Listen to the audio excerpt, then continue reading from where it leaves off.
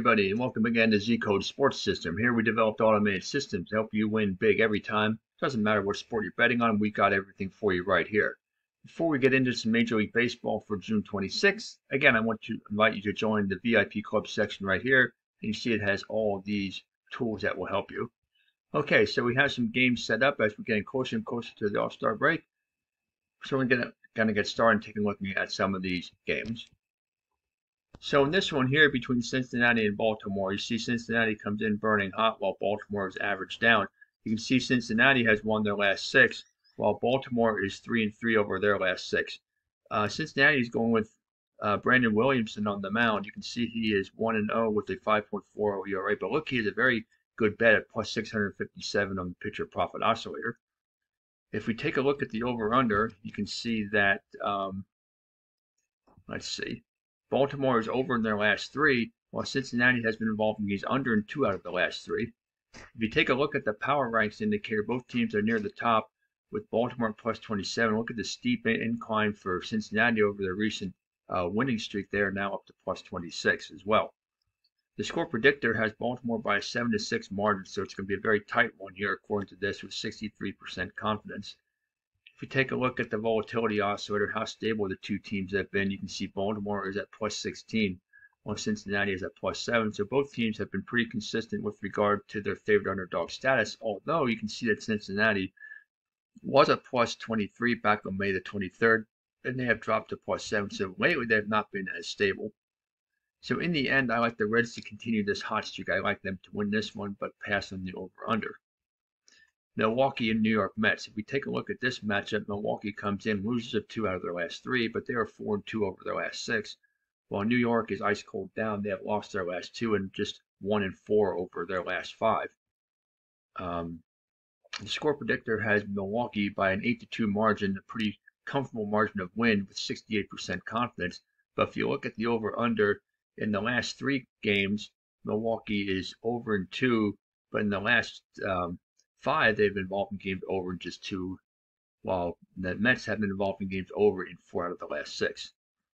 If we take a look at the power ranks indicator, you can see that the trend has been pretty uh, consistent with both teams, up and then down for Milwaukee with a uh, pretty stableness over the last couple of days. And the same thing with the Mets. So right now, Milwaukee is at plus 14 and the Mets are at plus 6. As far as head to head goes this season, you can see at the beginning of the year they had a three game series. Milwaukee won all three, two of them in blowout fashion. In fact, the first two were uh, both shutouts 10 0 and 9 0. So in the end, though, I like this one to be Milwaukee, and I like it to be a high scoring game. So Milwaukee and over.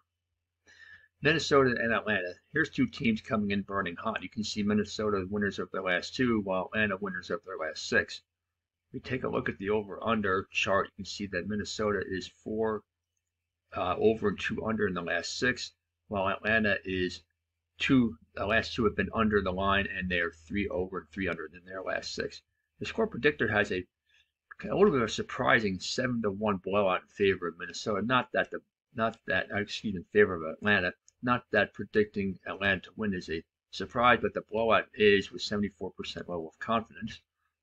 The Power Ranks indicator has Atlanta near the top of the league at stable at plus 29, while Minnesota has climbed recently from plus 5 to plus 11. If you take a look at the stability factor, like we always like to do here, you can see Atlanta among the most stable teams in the league, if not the most stable at plus 20, while Minnesota has been hovering around the plus 7 to plus 9 mark uh, for the last, geez, since very early in the season, and they are now at plus 7 as the moment. So in the end, though, I like Atlanta, and I think this is going to be a lower scoring game. So let's take Atlanta and under. The next one is Detroit at Texas. Both teams come in average up. Uh, both teams four and two over their last six. As far as the over/under goes, uh, Detroit has been involved in games over the line three out of their last four, while Texas has been involved over the game over the line also in three of the last four. So very similar uh, trends for these two teams. Uh, Texas predicted to win 7 to 3 with a confidence in it at 60.5%.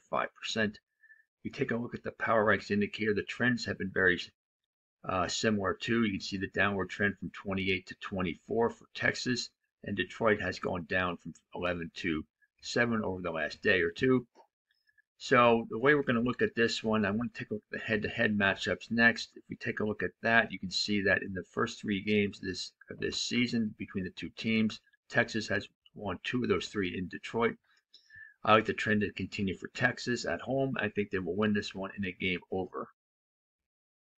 Chicago and the Angels, the White Sox come in ice cold down. You can see uh, losers of four out of their last six. While the Angels are average down, they have also lost three out of their last four, and they're three and three over their last six. Uh, as far as the over/under goes, they are trending on opposite sides of the line here. You can see um, Chicago over in their last two, while Los Angeles under in their last three. The score predictor has Los Angeles by a 7 to 3 margin with the confidence in prediction of about 64%. On the power ranks indicator chart, you can see Los Angeles in an upward, up and downward trend. Right now in a downward trend at plus 19, while the Angels are on a slight upward trend over the last couple days from plus 5 to plus 8. The two teams met earlier in the season, three games, with uh, Los Angeles winning two out of three on the road. I like this one to be an Angels win, but I'm kind of kind of hedge on the over under bet because they're trending on opposite sides of the line. So again, let's take the Angels, but pass on the over under. Washington at Seattle. take a look at this one. Washington comes in dead status, just one and five over the last six, while Seattle is three and three over the last six average status. You can see the over under trend is that Seattle under in three out of the last four, while Washington is under in four out of their last six. You'd expect a more of an underscore in this one. Uh, the score predictor, you know, with the eight to two, that's not sure if that's gonna be over or under because the line has not yet been set. But take a look as that gets closer to the game, and take a look at this to see if the score prediction has changed. But right now, eight to two with 62% confidence in prediction. The power ranks at the steep downward trend over the last few days for Seattle from 18 down to 10. And Washington has been hovering down at the bottom all year, and they're at plus three.